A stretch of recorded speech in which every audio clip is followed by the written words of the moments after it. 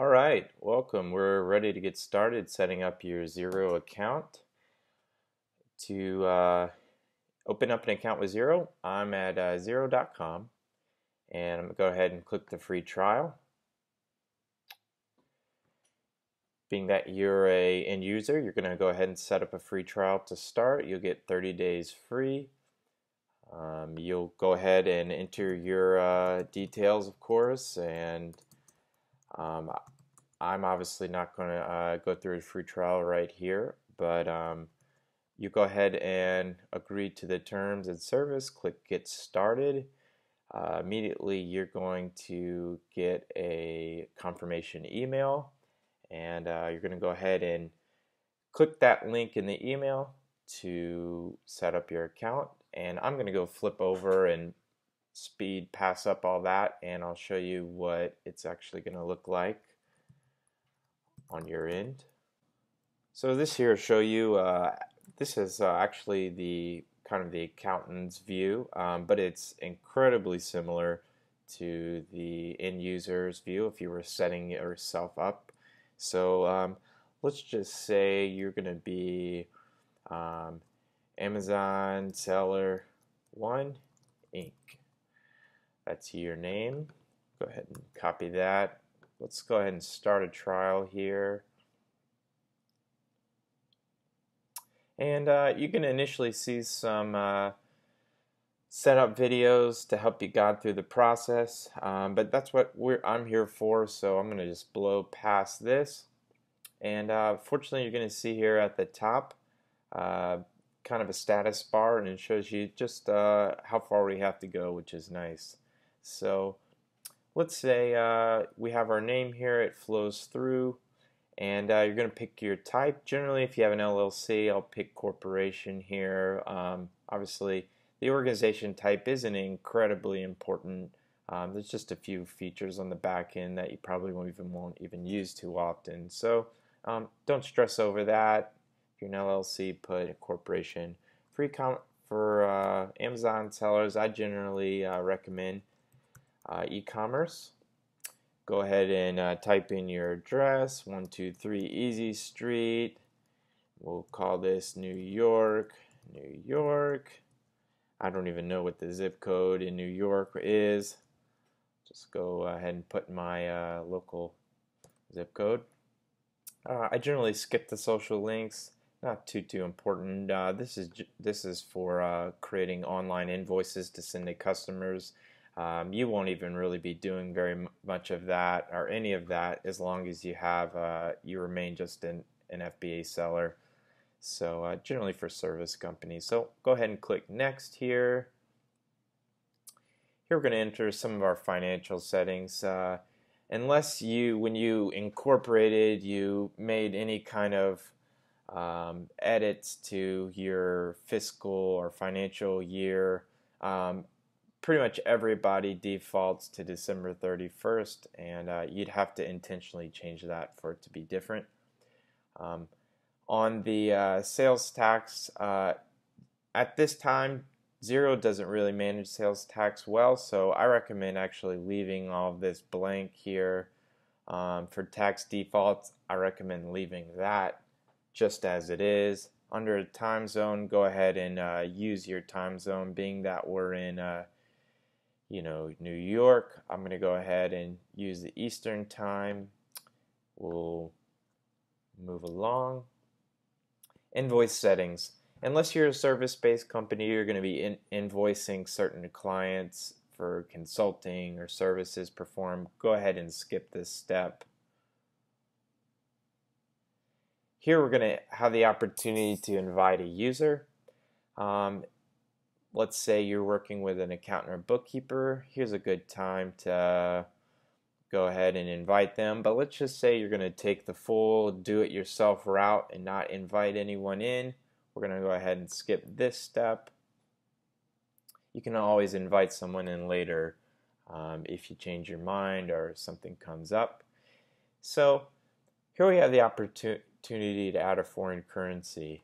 Um, 99 times out of 100, you most likely won't be having a foreign currency, um, dealing in a foreign currency. So uh, the only chance this would really change is uh, if you go ahead and start selling um, via Amazon's international marketplaces, whether in Canada or the UK.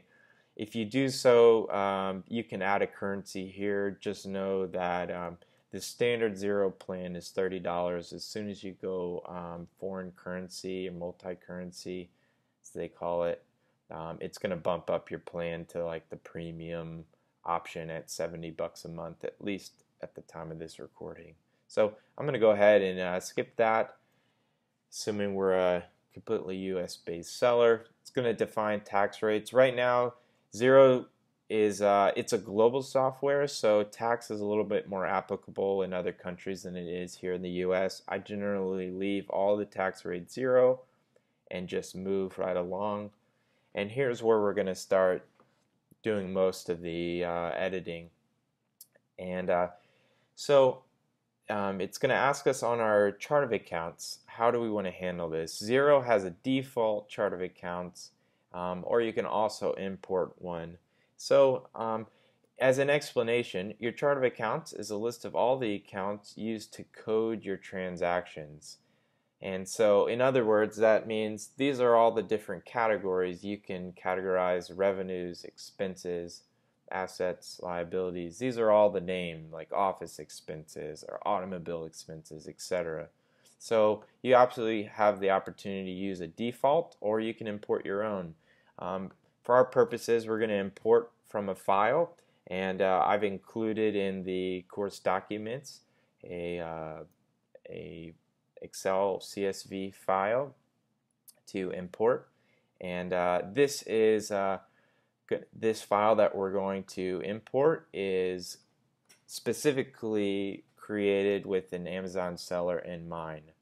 So it's going to ask us, um, this is the only option here, but does the file you're importing contain account balances? We're going to just go ahead and say no, or we don't know. I'll browse uh, my desktop here. We have an Amazon chart of accounts. I'm going to go ahead and click open and then import.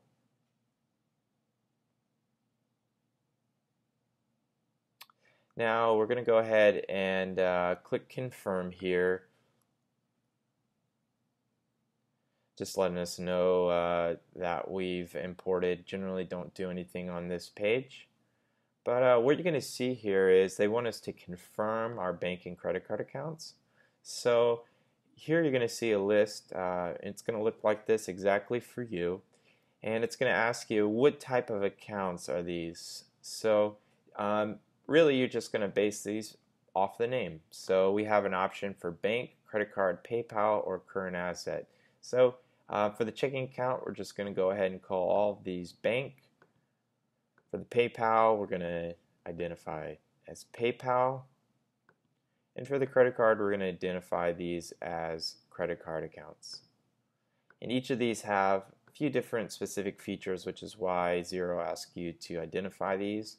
And you're going to notice um, where the country, the currency, and account number, I go ahead and leave these all as default. Um, we can come back for the account numbers later. And now we've saved. It's going to uh, give us an overview to confirm that these are the chart of accounts that we want. And uh, I'm not going to walk through all these. I'm just going to go all the way to the bottom. Discuss these in more detail later. I'm going to go ahead and click Next to confirm.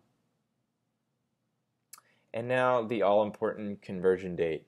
So this is very, very important and uh, very vital that you pick a proper date here. So Xero says enter the date that you intend to begin processing all of your transactions in Xero.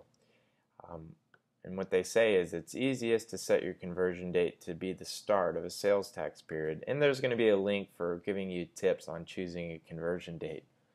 At the time of this recording, uh, we're in September 2015, so it's going to default to the current month. And what this means is uh, we're if we leave this as is, that means we're going to start processing transactions in Xero as of today's date, uh, or I should say as as of the month of September, the current month. What I recommend doing here is, if at all possible, pick the, the beginning of the year.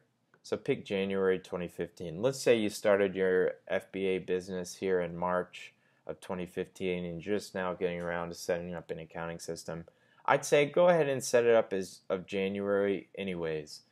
Um, the the one difference would be, let's say you're coming from an existing accounting software, and uh, maybe you're using QuickBooks before, and you may have everything current in QuickBooks as of last month, so August. And so it may make sense to put September 2015 as your conversion date. So, um, whatever the case, pick pick the month where you know that you're going pick the month after you know you have the the most current information. So if the most current information you have from your accounting software is December of last year, go ahead and pick January of this year.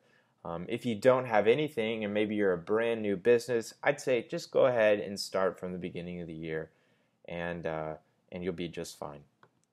So we'll click next here and it's going to ask us to confirm our account balances as of the um, the start date. So I picked January of 2015. So it's going to ask us what were your balances and primarily your cash accounts.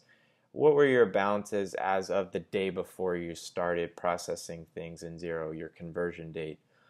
For this example, I'm gonna uh, for our training here, we're gonna leave this all at zero. I'm actually to come back because this is a pretty nuanced uh, situation.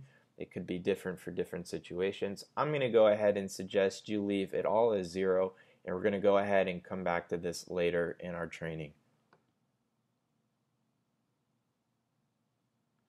Now that we've passed through this, setup is complete. You're nearly done. Just click Finish to start using Xero for your day-to-day -day business. Okay, we're going to go ahead and click Xero. We're going to click Finish, and I'll see you on the other side.